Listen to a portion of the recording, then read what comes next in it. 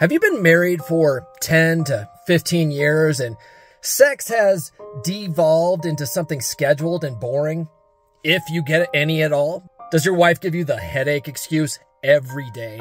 And are you feeling like a stranger in your own marriage? Hi, I'm Paul Bauer, a certified master life coach who helps men get their wives to want to f them again. Dude, I get it. The constant rejection makes you feel worthless, unloved, and not good enough. It's soul crushing to feel less than a man in your own relationship.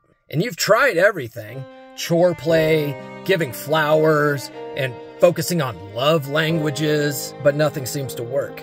The reason why that doesn't work is because the real problem is that you're not being the man that she fell in love with. Instead of the confident, assertive guy who set the tone, you've become a groveling wuss begging for intimacy.